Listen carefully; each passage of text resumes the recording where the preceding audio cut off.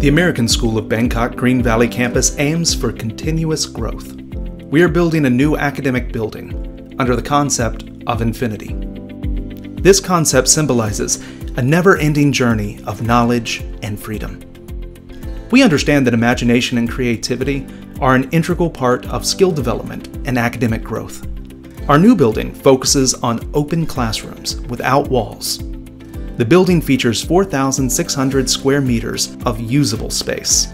The first level is for nursery and kindergarten. It focuses on green spaces with a hill like landscape where teachers can bring their students for a peaceful reading time or science experiments in a natural themed wall-less classroom environment. This design encourages EQ development for young children.